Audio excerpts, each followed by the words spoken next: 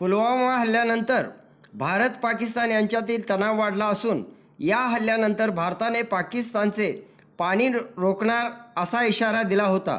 मात्र भारताने आमचं पाणी रोखल्यास आंतरराष्ट्रीय न्यायालयात दाद मागू असा इशारा पाकिस्तानने भारताला दिला आहे. पाकिस्तानच्या जिओ न्यूजशी संवाद साधताना पाकिस्तानचे अधिकारी म्हणाले की भारत पाकिस्तानला येणारं पाणी रोखण्याबाबत आक्रमक होताना दिसत आहे.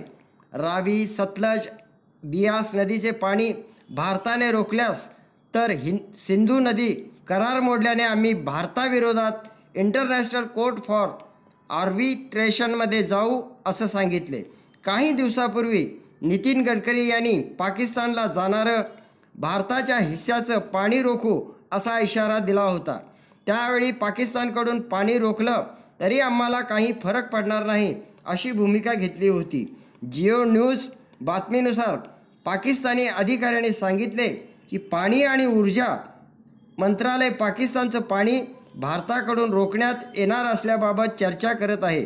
मात्र सिंधू करारानुसार भारताला असं करता येणार नाही.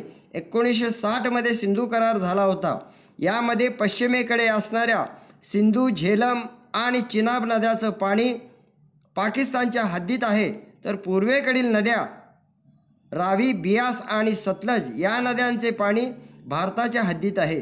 केंद्र सरकार केंद्र सरकारच्या वतीने सिंधू जल कराराविषयी माहिती देताना नितीन गडकरी म्हणाले होते की पाकिस्तानकडे वाहत जाणाऱ्या तीन नद्यांचे पाणी या नद्यावर बांधण्यात येणाऱ्या धरणामधून रोखण्यात येईल. त्यानंतर हे पाणी पंजाब आणि जम्मू काश्मीरमध्ये वाहत जाणाऱ्या नद्यामध्ये प्रवाहित करण्यात येईल.